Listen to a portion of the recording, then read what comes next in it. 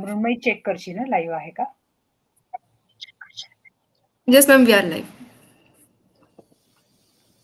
या okay so hello everyone we are now starting with the second lecture in the series called Reflections.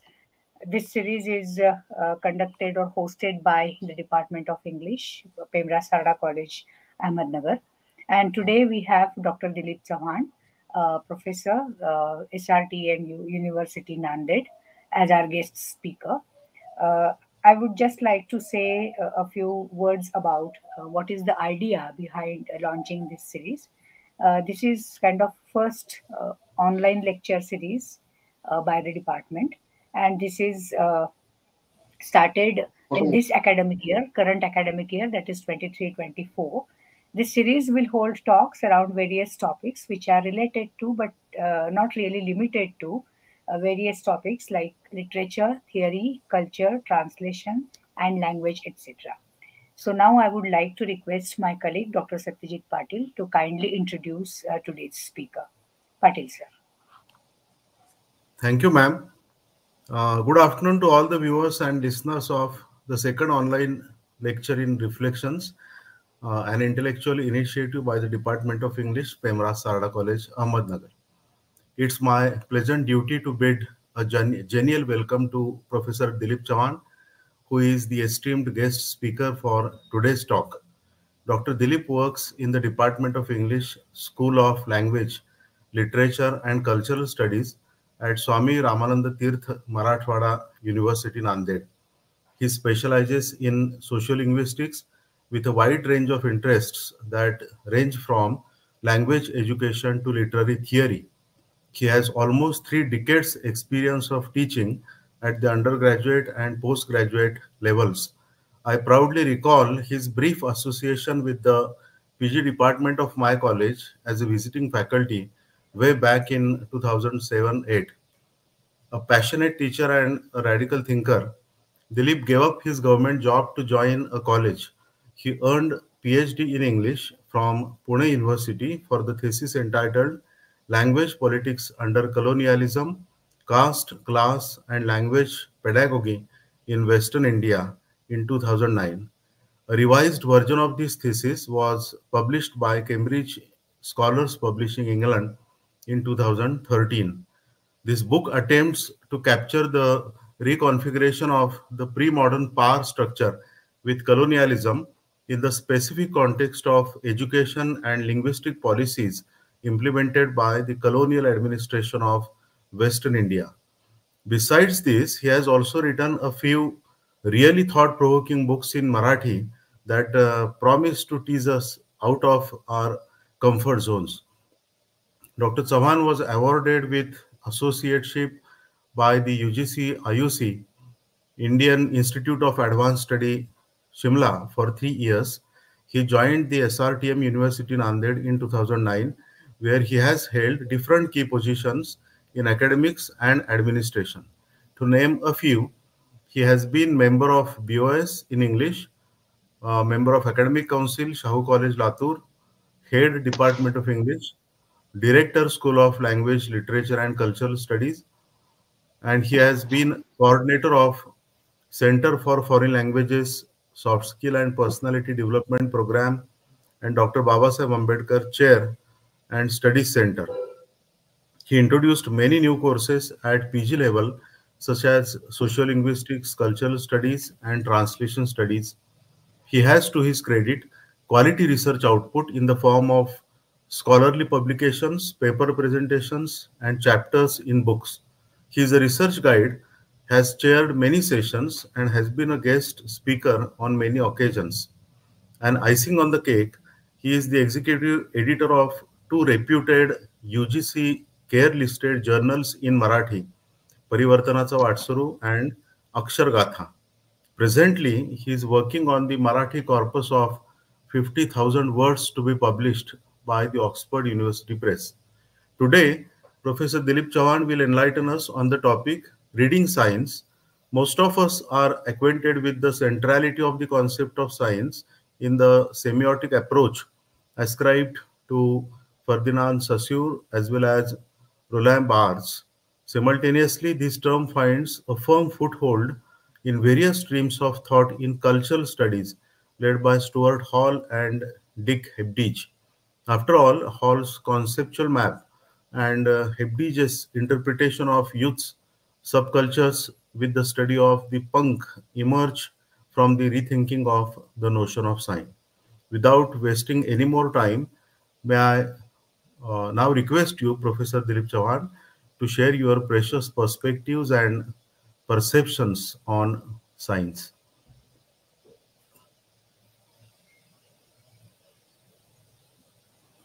Dilip Uh, sir. I think Dilip sir has left uh, somehow, so we will have to wait for a second or two till he rejoins.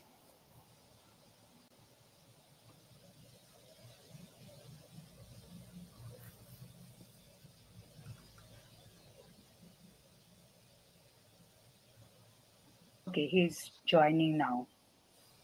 Yeah. Yeah. Dilip sir, can you hear us? Yeah, uh, sorry. Yeah, I, I think I had got disconnected for a while. Yes. yes. Yeah, I'm I'm audible to you all. Yes, Yes, sir. Yeah, thank you. Um, thank you all for inviting me to speak on reading signs. Uh, I was in Ahmednagar for quite a long time. I had my degree from Ahmednagar College. Then I taught English in New Arts, Commerce and Science College for 13 years. And uh, for a very brief period, I also remained associated with the postgraduate department of English of uh, Pemraj Sarda College, Ahmednagar. So I, I, I really feel proud to have uh, had my association with at least three colleges in Ahmednagar city. Uh, I, I must admit that uh, so far as the departments of uh, English in these three colleges are concerned, there has uh, always been very cordial kind of relationship, uh, a sort of say uh, comradeship, or we can say um, some kind of solidarity where people always had friendly sort of relationship visiting each other's departments and delivering lectures and all that. So this is something that is most required particularly at a time when uh, uh, the whole of academics is under threat uh, for many reasons. So this kind of cordial relationship will certainly grow in future i'm sure. And uh, somehow we can help humanities and many other disciplines which have been uh, threatened by uh, many forces for many different reasons will survive uh, I, I suppose i am audible to you all Yes, sir, Yes. sir. Yes, yes. Very much. Yeah. Uh, uh, this lecture is primarily uh, meant for the students doing MA in the Department of English at uh, Sarda College, Ahmednagar. I wanted it to be a sort of an interactive session, but since this is uh, a YouTube live, we really can't have uh, interactions till we finish this session. Um, so I, I will miss uh, uh, the responses, questions, and uh, uh, whatever that the students really uh, otherwise would have done in the meanwhile. Uh, if uh, Uh, I can, May, may I suggest? May I suggest one thing? Uh, you can take one or two, let's say, pauses in between your lecture, and then you can Hmm. ask for questions. We can wait for a few seconds. If uh, the students uh, type any questions in the YouTube chat, then we can uh, convey those Yes. questions to you. uh, despite uh, uh, this being, uh, I mean, uh, YouTube live, I would like to begin with a question. My question to all the students who are present here is uh, whether they have uh, noticed the logo of any college or Sarda college for that matter. Yes, sir. Can you write? I think in the chat box you can write. Yeah. Uh, if you haven't, you have to. uh, there are four colleges, uh, as as I understand, in the city, perhaps more than four, but uh, four uh, arts, commerce, and science colleges uh, in Ahmednagar city. Ahmednagar College, then New Arts, Commerce, and Science College. You al- also have Radhabai Kale, Mahila Mahavidyalaya, uh, and Pemraj Sarda College. So, what uh, you need to do is to pay a close attention to one thing which is available uh, almost every everywhere almost visible in every uh, document uh, uh, every corner of the campus. That is the logo of uh, your college. What is remarkable about any logo it is it is usually uh, a unique one a distinct one. And that certainly is not meaningless. We usually feel that a logo uh, doesn't have much meaning as such but uh, it does have. So in a very uh, fundamental sense every logo is a kind of sign s i g n. And we have to have a little say uh, understanding of sign some primary understanding of sign. Now what is sign? Sign is uh, a very significant term a sort of an area of inquiry in almost every field of knowledge in humanities and uh, social sciences. In the last uh, at least 3 to 4 e- decades we we can see there has been uh, very rich uh, scholarship on the idea of sign. Now sign as a notion is very old. If you go back to the ancient times you will find various social groups ethnic groups ethnic societies used to have their own signs as uh, their unique we can say identity. These signs in the earliest uh, we can say known history of human civilization existed in the form of totem. A totem was a sort of a sign uh, which represented the community uh, that uh, that held that particular totem. And it used to be uh, shown uh, in a very visible uh, manner outside the camp or sometimes inside the official buildings of these groups of these ethnic societies uh, there are certain totems available to us from the ancient society which you can study and there are certain studies which are uh, based on the totems of the ancient societies. If you read uh, uh, some of the ancient philosophers such as plato and aristotle you will find these philosophers also referring to uh, the idea of sign. But in the 20th century as patil sir has already pointed out there emerged a very systematic way of studying signs. And there were philosophers and uh, political thinkers also linguists and of recent some cultural studies scholars who contributed to the debate on signs.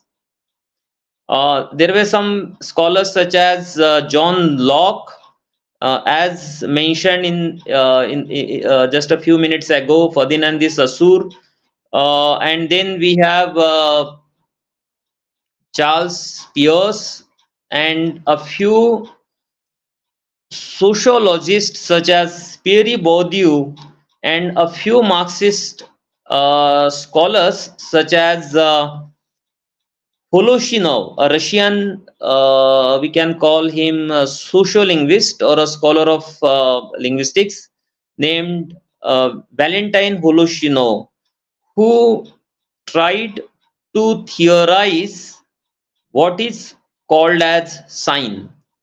Now, sign, uh, you know, we usually tend to certain images as signs. For example, Pemraj Sarda College has its own logo. Or there is a college just close to Pemraj Sarda College, I, I already mentioned, New Arts, Commerce and Science College, which also has its logo. Perhaps uh, Corporation also has its own logo. I remember when the corporation came into being in the year 2003, there was uh, a sort of competition held by the municipal corporation, newly formed corporation, and uh, so many artists submitted uh, their own designs, their own logos, out of which just one was selected. The logo that you have in Ahmednagar was uh, created uh, jointly by uh, one artist called Vitankar and a retired professor of philosophy from Ahmednagar College named Hemant Gokhale. So every establishment such as Ahmednagar Municipal Corporation uh, or Jilla Parishad Ahmednagar or any any uh, governing uh, governmental or non-governmental body for for that matter has its own logo. And a logo carries certain meaning. I mean it is uh, very uh, nonsensical to really say that a logo doesn't have any meaning a logo has a meaning. A logo has its own structure one. Then it also stands for something that is the second aspect of logo. It goes beyond what is visible physically. I mean you have a design uh, some sort of god or goddess or some kind of a figure some icon from the history or some some extracts from some scripture. For example the Ahmednagar college uh, logo has uh, a, a, a, a saying from the bible. So a logo may contain some sentence or a few words from uh, uh, from some scripture or for, from, from some book usually uh, from the past. Many of the logos have uh, a few words usually three to four words and in india many logos bear these words or sentences or sayings in sanskrit for example i am uh, speaking from uh, uh, from a university located in Nanded, which has its own logo, uh, and at the bottom of the logo there is some sort of uh, a sentence which comes from some scripture. It is in Sanskrit. So many logos have certain texts which had its roots in some or the other, say, religious or cultural text. So uh, my point is a logo stands beyond its physicality. It takes you beyond its existence, its physical existence, the figures, the images, the sketches, the color, you know, that is used. For example, Ahmednagar College logo is in, is in uh, uh, faint blue.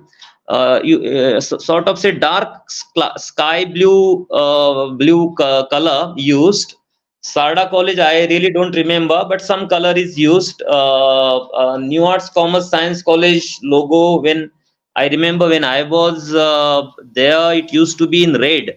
So a particular color is used to to suggest something. You know, colors are highly suggestive. We can't say that colors uh, really are meaningless or uh, they are arbitrarily uh, or whimsically chosen by the designers. Not at all. Colors, everything, every small part of a sign that we come across has some meaning. So, what we have to understand here is a sign uh, essentially stands for something, something which uh, uh, which always uh, remains hidden, something that you always uh, have to look for, the meaning which can subjectively be analyzed, claimed, interpreted, and also challenged. So uh, that is where you enter into an altogether different realm, an untrodden realm, we can say, or uh, uh, a very uh, ambiguous, vague field of meaning, where uh, multiplicity of meaning really matters a lot. A certain sign doesn't have any fixed meaning for for all all the viewers. For example, I can view uh, a particular sign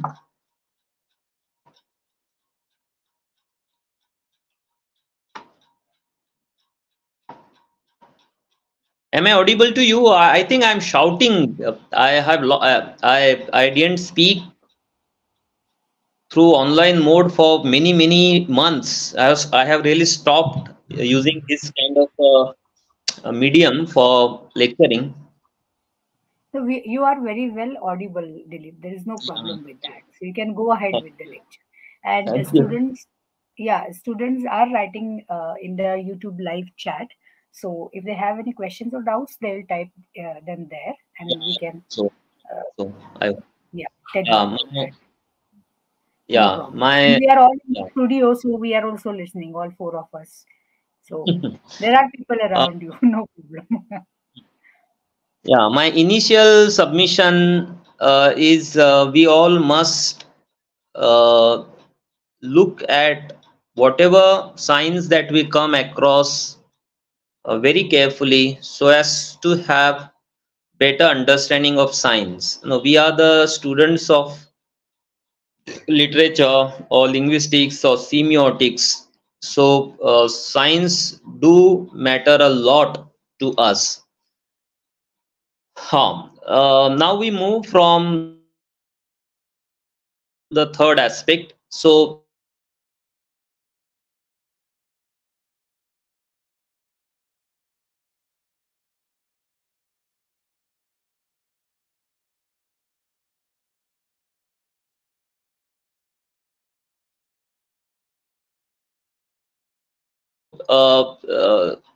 we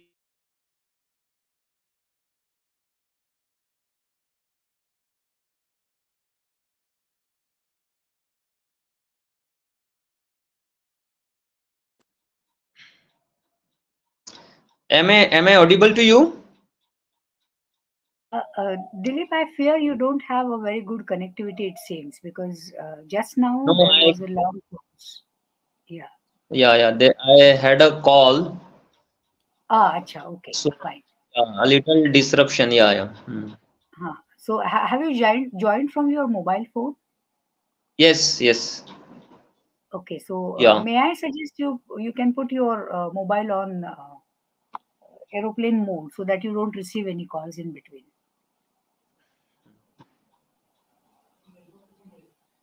Oh no, that will also uh, cut you off from the network. I I fear. So let it be whatever the system is.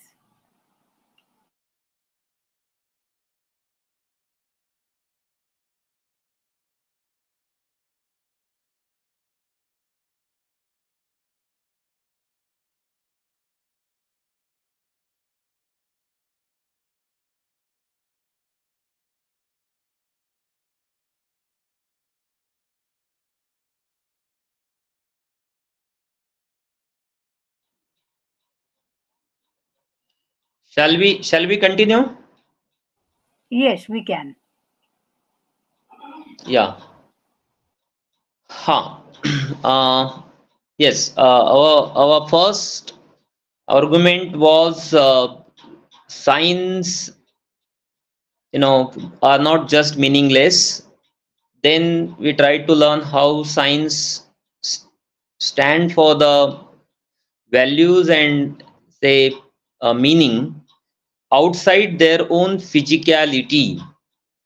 And the third uh, aspect uh, we can say here is uh, uh, how we, uh, as the students of linguistics or stylistics or semiotics or literature, whatever, have to enter into a sort of a realm, a sort of a field where we try to make sense of signs.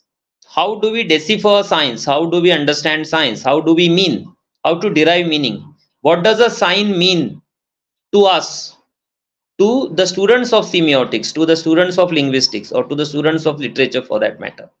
Okay, so uh, here uh, we uh, we are here now into the field where uh, meaning matters a lot and how do we mean uh, what we see.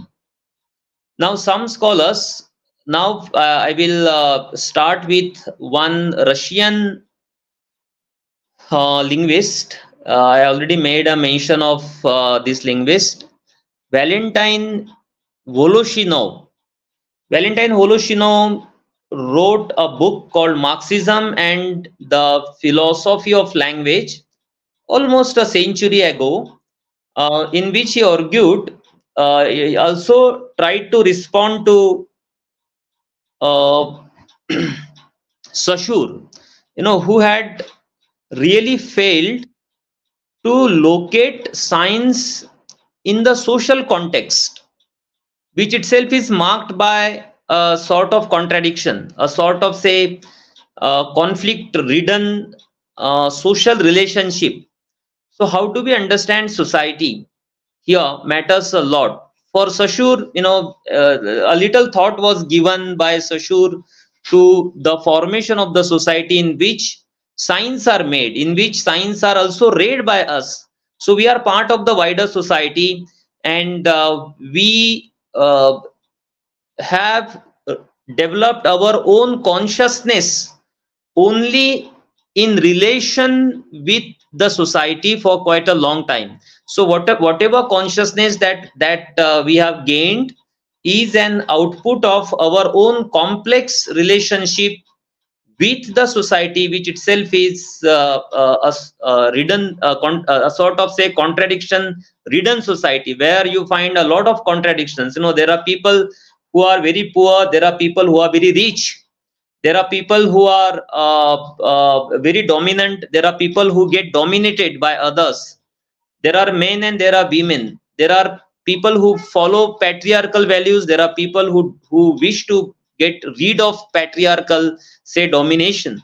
So there are you know certain contradictions in the society. There are certain say uh, conflicts in the society which certainly matter a lot when uh, the shaping of consciousness is concerned. So how do we understand signs? As to uh, how do we really understand the genesis of signs the roots of signs? So here uh, uh, soon after uh, very soon we can say after the structuralists were trying to interpret signs without ever referring to the the complexity of uh, the social relationships in which the human beings uh, have to enter into without any uh, any kind of uh, uh, what you can say choice. So when you enter into social relationship you are not left with any choice as such. When you come to your college when you talk to your professors when you talk to your friends uh, when you go back and uh, ask your mother or sister to make a uh, cup of tea for you if you are a male member and if you are used to that kind of a practice. So every kind of social act in that sense uh, is something that is constitutive of whatever signs that we come across. So signs are very much intimately associated with the society which itself is formed of a certain kind of social relationship i hope uh, I am audible to you all and I am adequately uh, audible and uh, I hope uh, everybody uh, does understand me. I mean, particularly students. Uh, yes, Dilip, yeah. there is no problem with either with video or audio.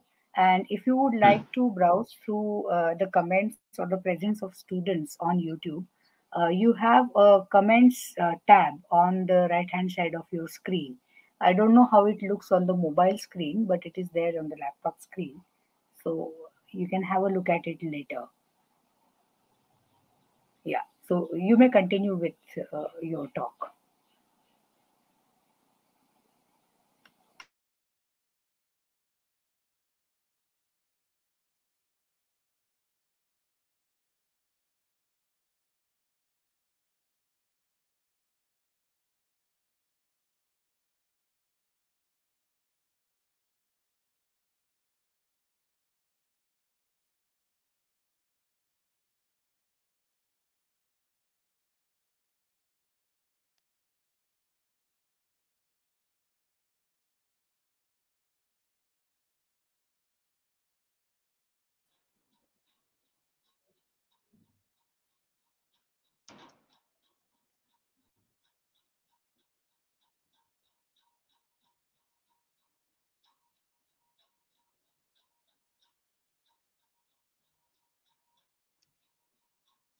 Yeah. Am I visible? Yes, yes, you are. I You had back. lost, yeah, while reading this the chat, I had lost touch with you again. Hmm. So I hope uh, now I'm uh, comfortably audible to you. Yes, yes, you are. Yeah. Yeah. Hmm. Uh, so uh, uh, Voloshinov wrote a book called uh, Marxism and the Philosophy of Language almost a century ago, in which he challenged some of the assumptions on which the uh, structuralist understanding of uh, signs was based. Here, Voloshinov borrows certain ideas from Karl Marx, who had already uh, developed a theory of ideology and also a theory of consciousness, though in a suggestive way. I mean, Marx did not uh, very explicitly write uh, on ideology and consciousness, but we need to really recognize the significance of uh, his early writings so far as uh, early writings on ideology so far as uh, uh, uh, the uh, the later debate on ideology is concerned marx provided a sort of currency to the terms uh, ideology and consciousness that they enjoy today.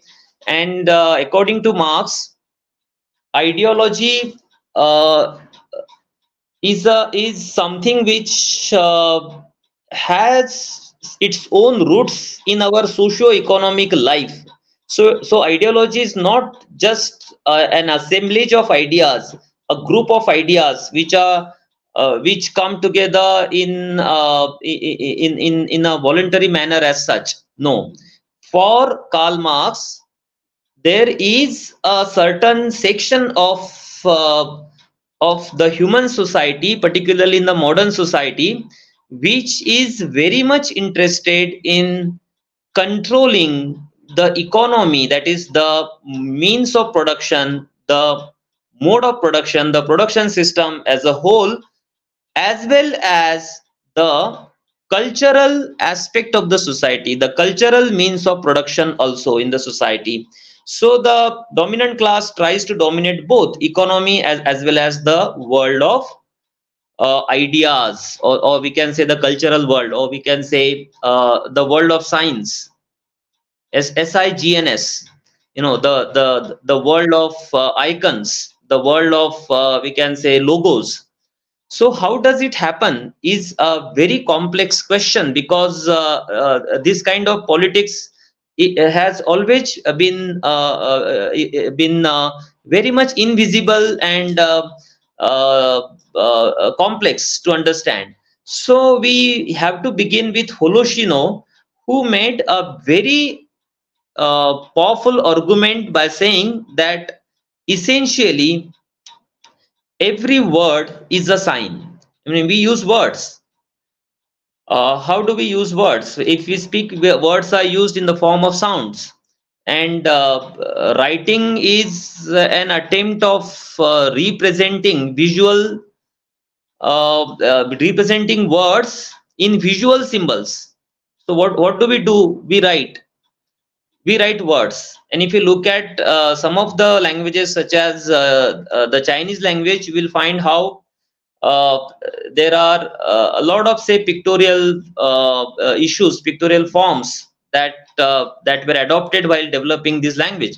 So words in that sense can be seen as signs. And what are signs? For Voloshinov signs are not free of the social context in which they are produced, in which they are used, in which they are transmitted. A certain sign has a lot of uh, suggestive meaning. For example, the logo of a college or the logo of a university, you know, it, it has some meaning for us all.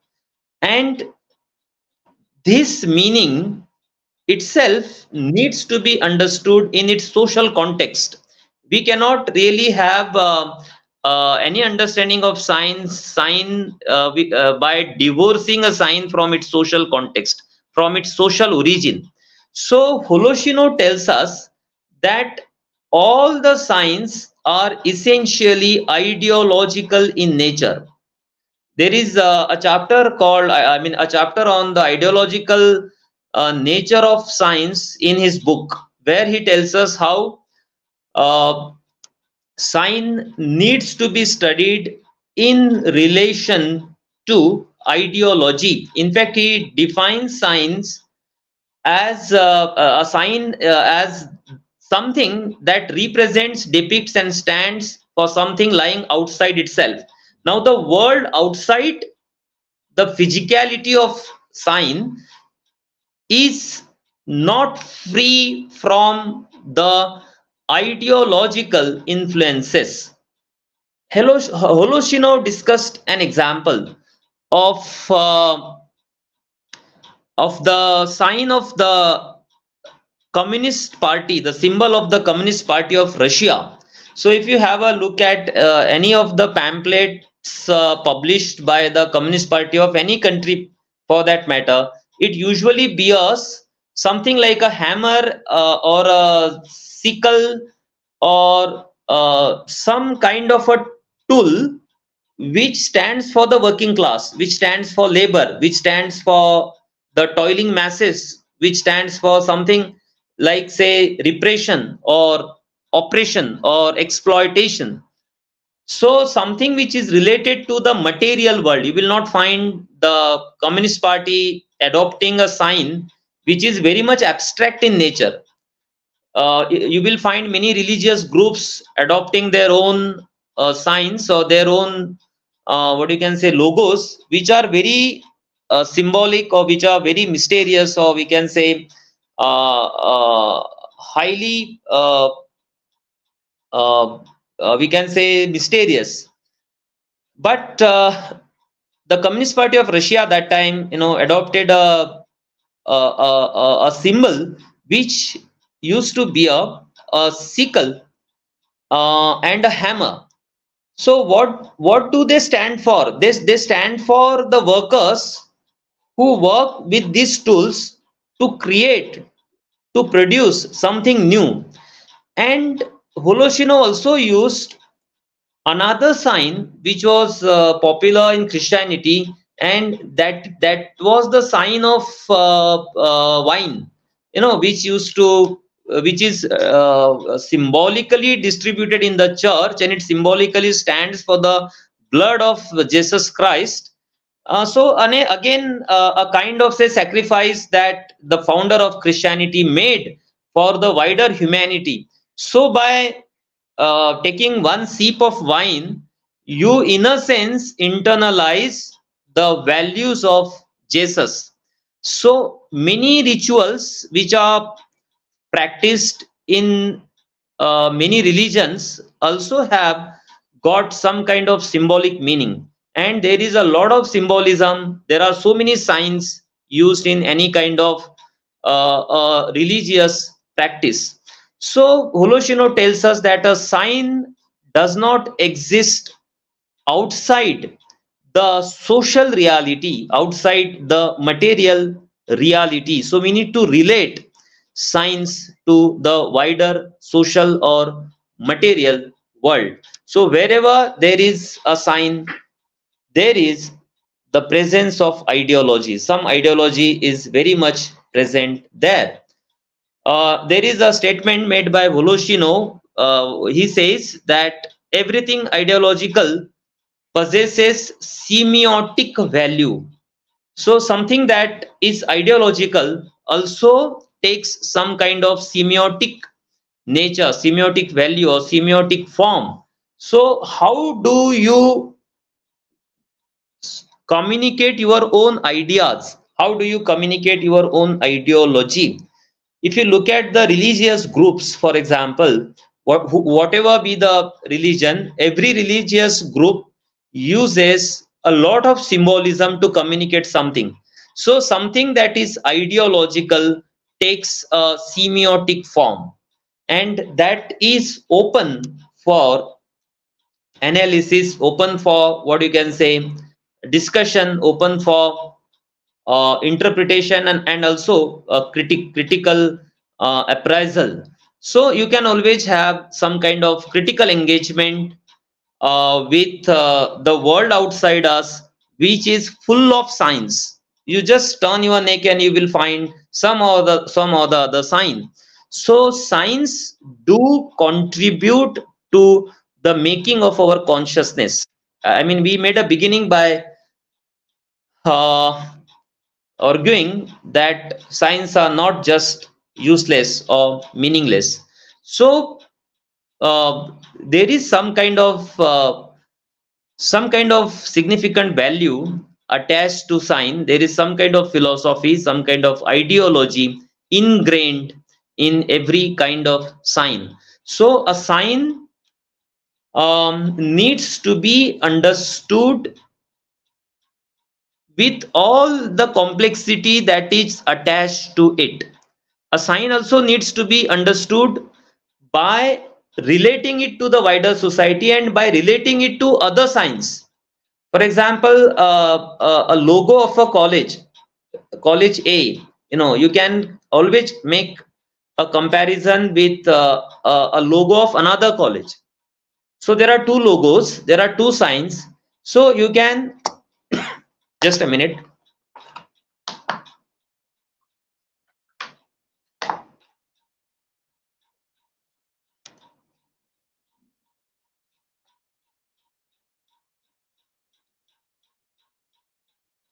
Yeah, sorry. Uh, so you can make a comparative study of two signs or three signs or four signs and you can always study as to why a particular sign is designed uh, by a particular artist and what made a particular organization adopt a particular world of sign. A sign uh, can be uh, of varying kinds. A sign can be very simple it can be very complex. It can be a just a single color many colors. It can be a many images.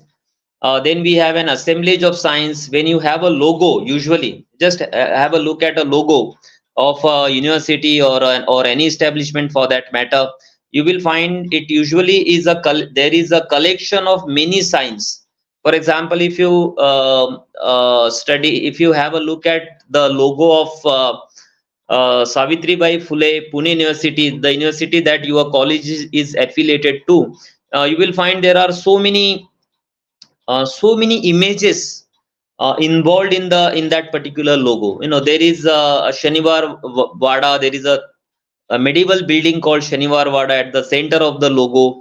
There is a temple. There, uh, there is one fort named Raigad, and uh, I think there are swords also, some some structure which looks like uh, uh, like a sword, and uh, there is a book and something is written. The name of the university is written on two pages of the book, and there is a sentence also. You know, just a minute.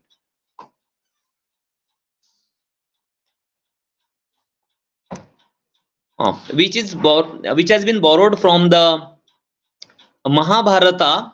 it, it is uh, it is a dialogue between Yudhishthir and some other uh, character in Mahabharata. So uh, there is uh, uh, some kind of say reference to the Mahabharata also. So a sign or a logo always is a very complex phenomenon because it involves a lot of images and uh, so many things from so many uh, uh, parts of the history ages of the history. For example the logo of savitribai phule pune university you know involves uh, ideas from the ancient then the medieval and also from the modern uh, society. So a logo essentially uh, makes a very complex case of uh, values and ideologies together put together so we have to understand that every uh, logo or every sign is a kind of a social construct uh, which itself is an output of uh, very uh, systematically structured society. A society is not just an assemblage of uh, people. It's not just a collection of people. Not that there are just 140 crore people living in India. It is not just a collection of 140 crore people. It, it, it, it we have to look at India as a very organized kind of uh, a society along several lines such as religion, caste, language, ethnicity. You know, I mean, for that, for for for for some reason, ethnicity also matters a lot when. Uh, uh, when it comes to say India or, or America or any society for that matter. And uh, uh, in the modern times, it is class. So we are also a class society divided along the economic lines, divided along, uh, say, uh, the, the, the, the amount of assets, the actual number of assets and the value of the assets that we possess.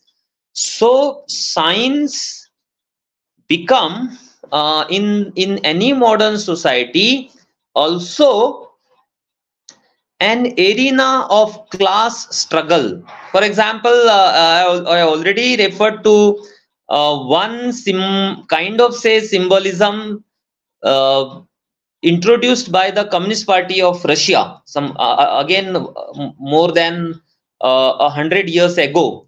So the symbol used by the Communist Party of India bears certain images, certain ideas, certain tools which represent the laboring classes in the world.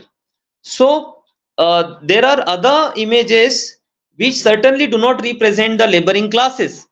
So sign also becomes an area of some kind of say social conflict, some kind of say class struggle or some kind of say political or ideological conflict. You must have seen um, uh, many conflicts in the world, not just in India.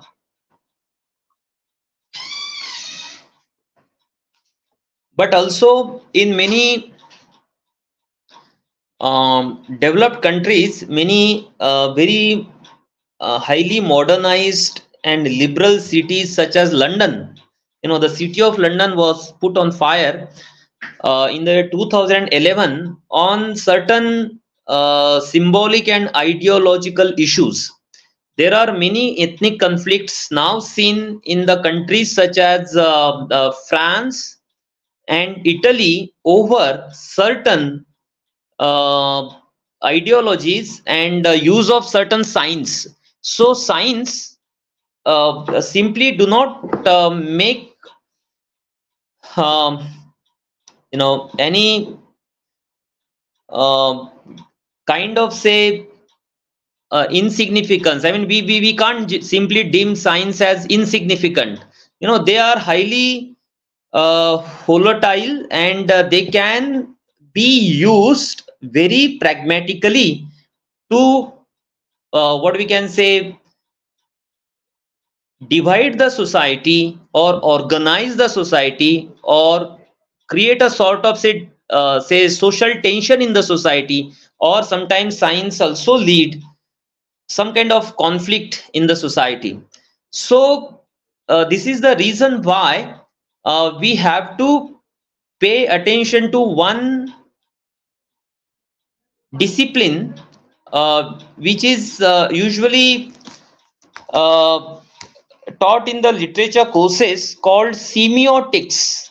But again there is a lot of development so far as uh, semiotics is concerned. We now move to a very refined very sophisticated sophisticated understanding of semiotics where uh, we can relate signs to many other ideas such as power ideology and conflict. So there is some kind of say uh, very uh, sophisticated understanding of uh, semiotics possible today because of uh, advancement in theory. For example, I was in Pune uh, just yesterday and I traveled from one place to another place by Pune Metro first time. Uh, uh, for me, it was the first journey, and as we have uh, uh, in uh, in in the local trains in Mumbai and buses, city buses, and even other buses also, some seats reserved for women. I came to know yesterday that there is a certain compartment reserved for women in in Pune Metro, and it was marked in pink. So I was a little surprised uh, to see the color pink used for women. So I just wanted to ask uh, the students who are present here uh, whether they know that pink is somehow associated with gender or the colors are associated with gender. What do you think, Madhuri? Can you just read a couple of responses so I, so I can uh, take Uh, rest yes, for a while? yes, I have typed the question in the live uh, chat on YouTube. So just wait for a few seconds till the students reply to that.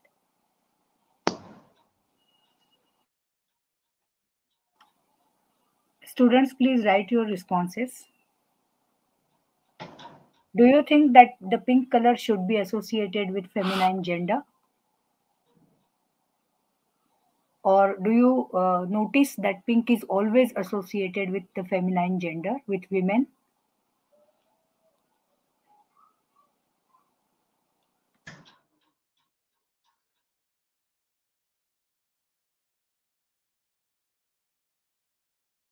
Have any meaning, any value attached to them?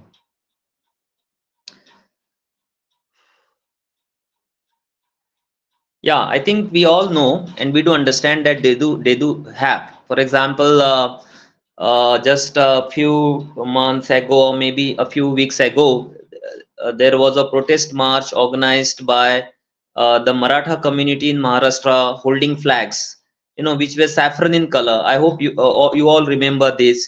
Or if there is uh, uh, uh, any uh, sort of march organized by the Muslim community, usually it is the green flag held high. So Christianity has used extensively white, you know, for some reason. So colors, you know, when when we have uh, religious communities, we always find colors um, uh, being used uh, for suggesting something. Now, but uh, we have to go beyond the religious uh, symbolism and understand how, in the modern sense, in the modern society, colors came to be associated with uh, with many other ideas and groups, such as the pink color, now being very extensively uh, identified with girls and women. If you go to the uh, to a toy shop, you will find many uh, many toys meant for girls in pink. So why pink?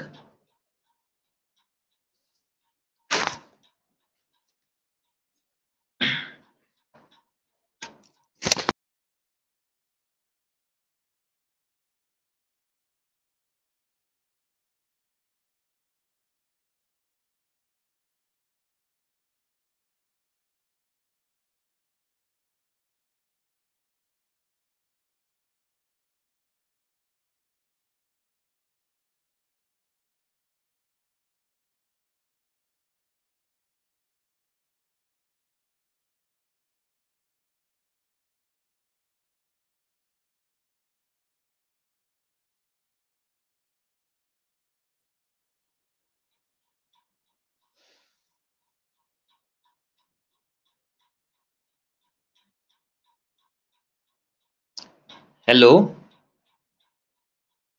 Uh, there are still no responses from the students, uh. So, I, I had got disconnected again for a while. yes, Okay, now yes, am I audible, audible to Yes, you? you are.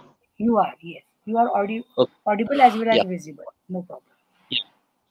Uh, so quite interestingly, this color pink uh, is uh, seen as a combination of two colors, red and white, where red stands for passion and white stands for peace. So very strange.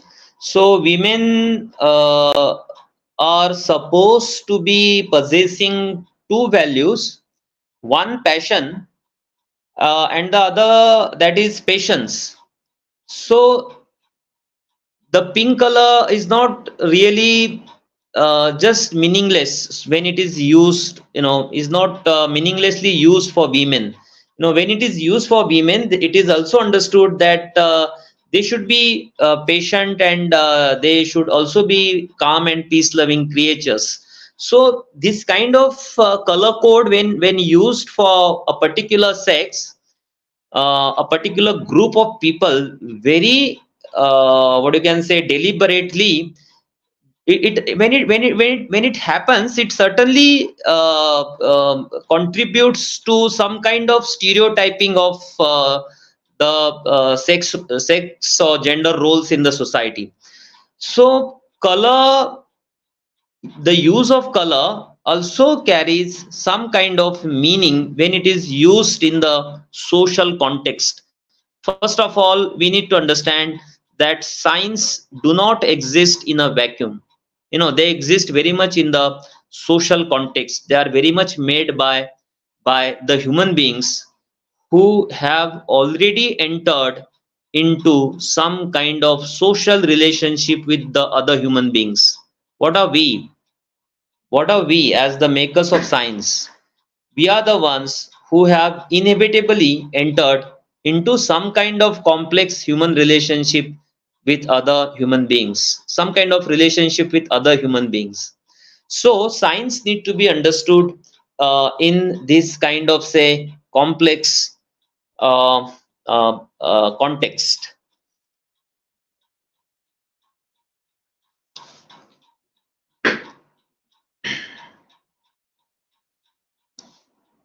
Shall I, shall I stop here for a while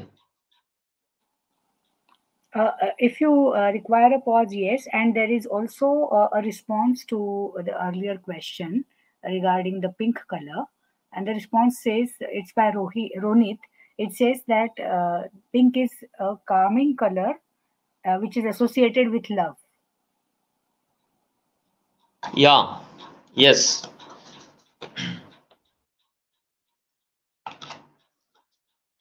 yeah yes fine. So how how do we decide that ping stands for love? Again a very complex question. Uh, long ago ferdinand de you know argued that this kind of relationship is very much arbitrary. I mean it is arbitrarily decided that a certain color stands for a certain value. So the relationship between uh, between the value that that uh, a certain sign stands for is always arbitrarily decided. Let me explain uh, this point to you. Uh, a few years ago there was a movement launched in mumbai a short lived movement for the change of the logo of the Bom- the then Bombay University. Now we call it Mumbai University. So this logo, you know, bore uh, the image of a beer, and it was thought. I mean, it was officially mentioned in the document that this some of the images in the logo stood for the British crown or the royal family or some kind of say colonial context. So there was a movement to decolonize the university logo and soon after India became independent, this logo of the then Bombay University was changed. Now I, I, would all request you to uh, uh, to to find time to have a look at the logo of the uh, Mumbai University today. So it is uh, different than what it used to be when India was uh, being ruled by the British. So uh, how do we know that a certain animal in a logo stands for the royal family or the part of the head of a certain animal stands for the crown? So how can the part of uh, an animal body stands for the British crown. So that is all arbitrarily university located in Aurangabad. it has its own logo. Uh, I would request you all to read uh, the meaning of the logo, which is officially given on the university website. So there are two elephants uh, in the logo, and the website tells us that these elephants stand for the people of Maharashtra. Now, how is this decided upon? or agreed upon by all i mean do, how can we really uh, decide that the elephants stand for the people so fine ping stands for love but my point is it is arbitrarily decided first of all we have to at least uh, recognize uh, uh, uh the importance of what Saussure was trying to tell us almost a century ago. But we need to go beyond uh, Saussure and understand how, uh, if it stands for love, it it comes to be associated with women and not men. How do we we we understand that women are loving, caring, um, and uh, men are not, and why should they be? Now, the feminist movement has already challenged this kind of association of uh, i mean arbitrarily decided kind of uh, meaning uh, i mean association between women and a certain kind of symbolism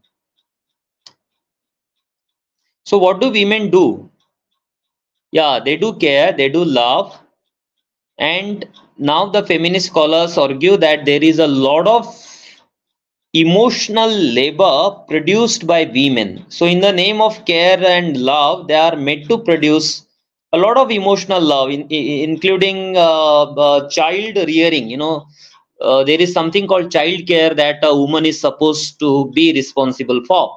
So, there is so much of uh, labor involved in care. So, this kind of labor is called as uh, now called as emotional labor, which again gets associated with certain kind of uh, uh, uh, stereotype that that remains associated with gender in the society. So pink stands for love fine. I mean uh, it is uh, understood. But then it again gets associated with women something that makes us understand how signs are essentially ideological how they are loaded with a certain kind of ideology political, religious, cultural, or whatever. Madhuri, can you add a little here?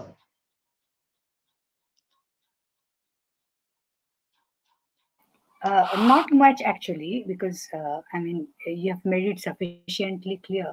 Uh, but yes, uh, as you said, that there is a socio-cultural, political, uh, even economical context uh, that goes in the making of a logo uh, it, I think it's a, a two-sided process.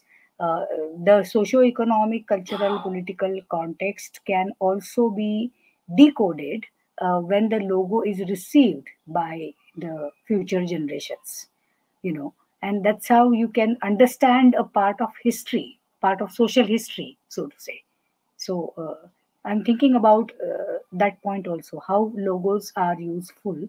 Uh, they can almost uh, behave like tools in understanding uh, the past, the social history of people, and also the history of conflicts, social conflicts in that particular society. Yeah, yeah, fine. Yes. Uh, now I will conclude. uh, we have a university called Savitribai Phule Pune University, and uh, Pemraj Sarda College is officially affiliated to this university.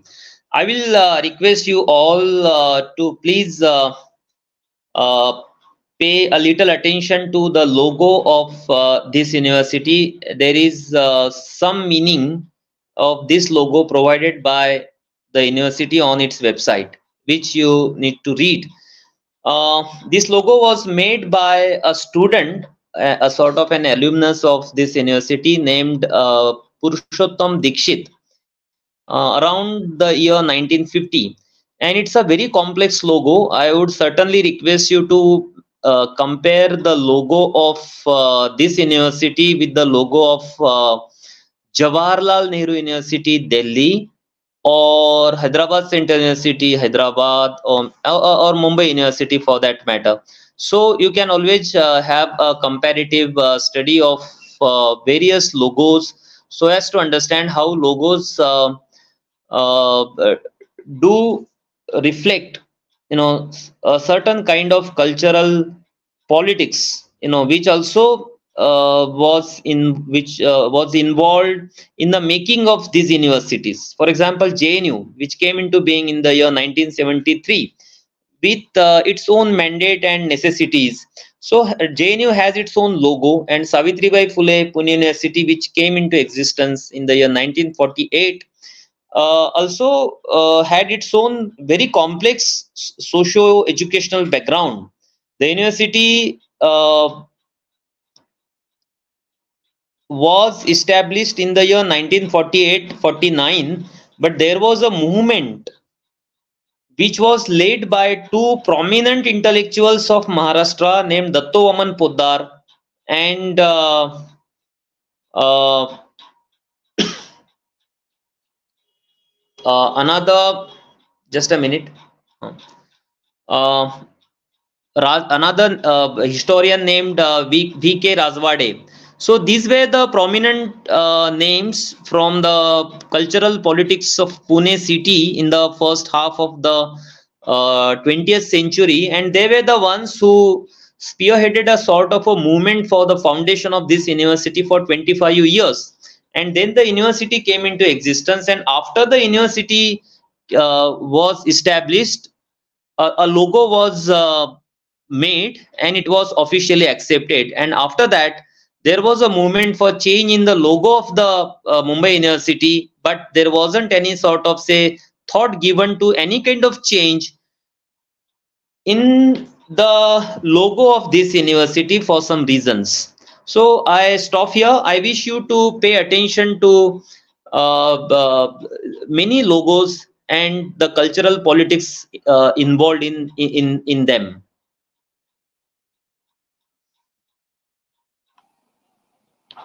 Yeah, uh, thank you, Dilip. Uh, shall we take up a few questions? There are two or three questions by the students.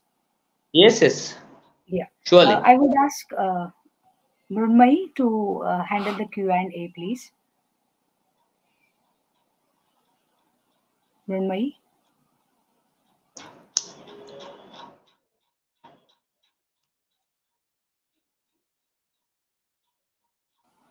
Okay, uh, without wasting time, let me handle that till Mumbai appears uh, in the studio.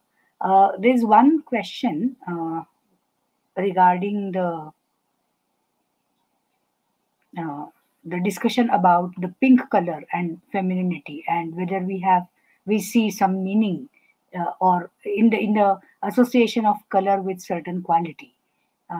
let me just go to the YouTube chat and I'll read it out to you. Huh. Here is the question. Um, given India's, this is asked by Jaya Mehtani, who is our uh, MA Part 2 student. Uh, Dilip, are you there? Hello? Hello? We'll have to wait for the speaker, I guess. Huh. Uh, Dilip, sorry, can you hear can- me now? Huh, can you please repeat? Yes, yes, sure. Uh, this question goes like this that given India's diverse religious landscape, don't you think that the logos of universities and educational institutions should also embody secular values? Yes, of course, but they don't. Many, many of them don't. Yeah, they should, but they don't. Uh, I would uh, like to draw your attention to the logos of two university. One is uh, Banaras Hindu University called as BHU, and another one is Aligarh Muslim University called AMU. So you can visit the websites of these universities and just have a look at the logos of these universities, and you will come to know how uh, logos of the universities which are modern uh, secular institutions are uh, deeply mired into some kind of religious symbolism. So, of course, that uh, uh, is very much contradictory to the function of a university. The function of any modern university in any secular society for that matter. So, what does the university stand for? Uh, university essentially stands for humanism, secularism, and liberalism. So, the logos of the universities also should uh, uh, be aligned uh, with uh, this kind of broad ideological values that the universities are associated with. Am I audible? Yes, you are. Okay, uh, uh, may I also read a comment by the same student, uh, which was about, as I said, the association of uh, color with certain meaning. Uh, she writes, uh, there is a push towards challenging and deconstructing such color coded gender norms nowadays. So, how would you like to elaborate on this? Yeah, I mean, uh, there, there isn't any significant challenge to it. Uh, the market has already taken over the world of uh, logos and signs.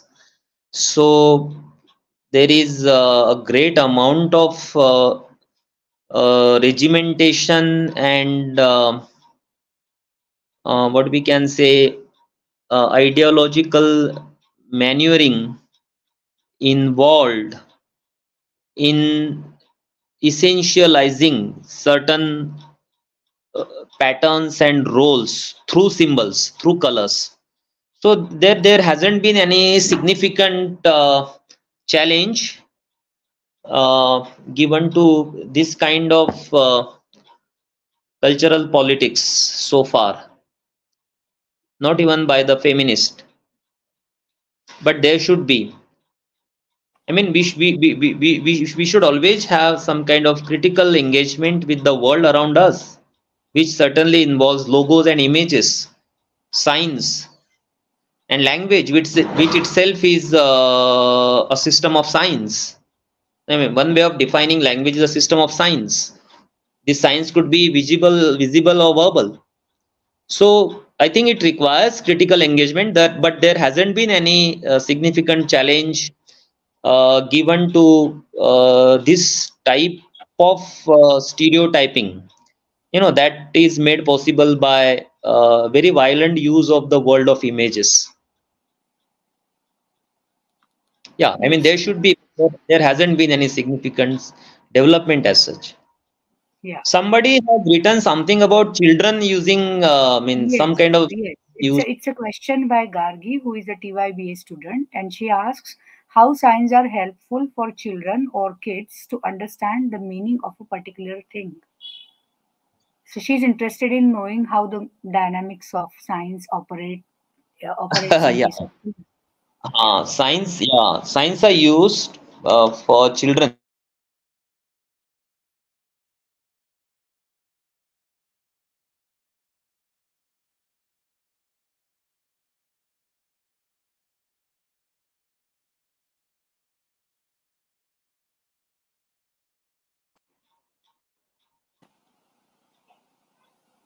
Hello. sorry i had a call uh, yeah yeah sorry connectivity, I guess. So you were saying uh, something I, I, about I, yeah i had a call so again oh, um okay. yeah sign- signs are used for uh, for kids for suggesting something so one of the uh, practical utilities of uh, the world of science is is that i mean they can be understood by by by people very easily uh, even an illiterate person uh, can understand a sign.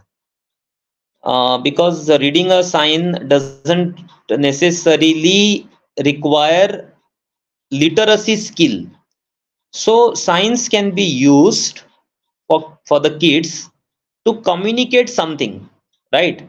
For example uh, there are uh, lavatories for boys and girls and if you want kids to really use separate lavatories there can be a sign of a boy or a girl uh, on the door and that will have some uh, suggestive meaning for, for, the kids.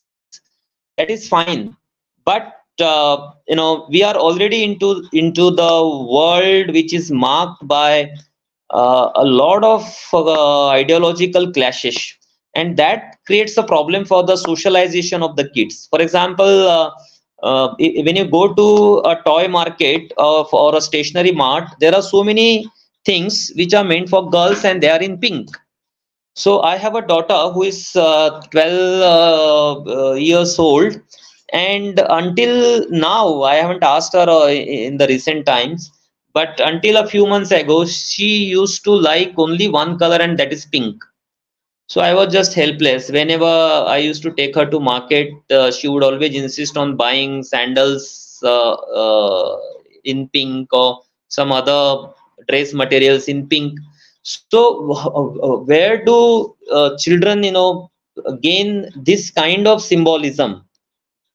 So there is a lot of market now uh, which certainly has imposed a lot of symbolism on the kids which certainly uh, would be harmful to their own uh, socialization. If you want your child to be reared as uh, uh, as a feminist child as a gender sensitive child uh, you will have to be very careful about it.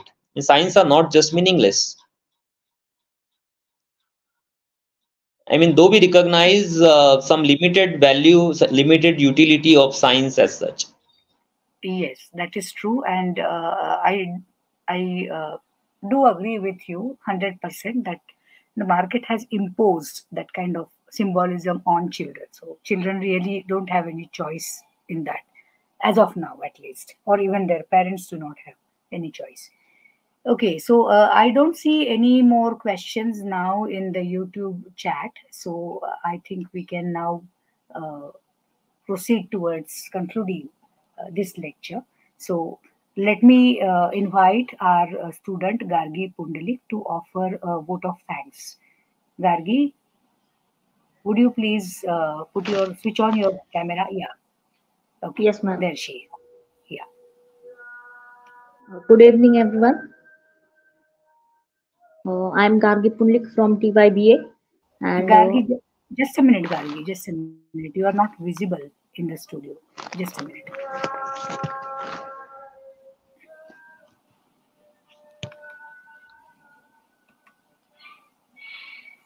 Okay, yeah. Please go on.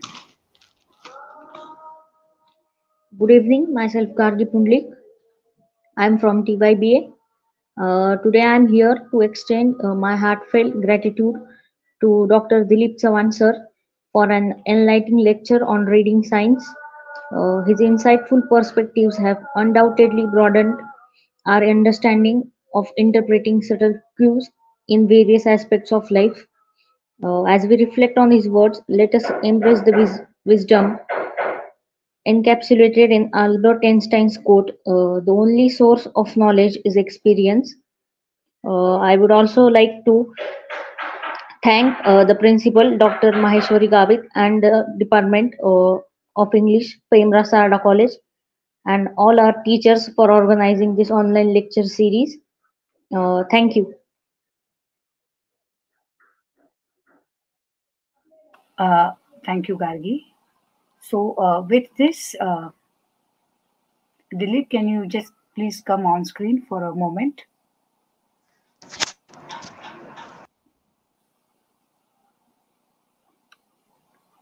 Hello.